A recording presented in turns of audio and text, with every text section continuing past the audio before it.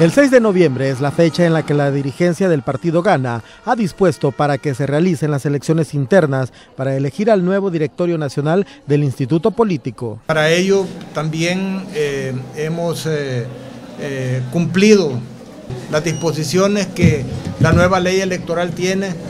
También hemos proporcionado la lista de los donantes al Tribunal Electoral. Serán 11 los miembros del Directorio Nacional que se elegirán la primera semana de noviembre. Es necesario elegir a los miembros del Directorio Ejecutivo Nacional relativo a los cargos siguientes, director presidente, director vicepresidente de campaña y asuntos estratégicos, director vicepresidente de organización y área legal, director de economía y finanzas, director del área electoral, Señalaron que será un aproximado de 1.500 afiliados los que ejercerán su voto en las instalaciones de la sede nacional. Estos procesos internos lo que deben de llevarnos a nosotros es a, fortalecer nuestra democracia interna y a fortalecer el partido.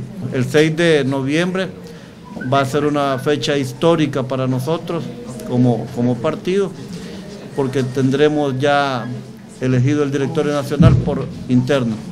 Entre los requisitos que exigen para los aspirantes a participar en las elecciones internas están presentar una planilla completa y no parcial, estar afiliados al partido e incluir una cuota del 30% de mujeres en sus propuestas.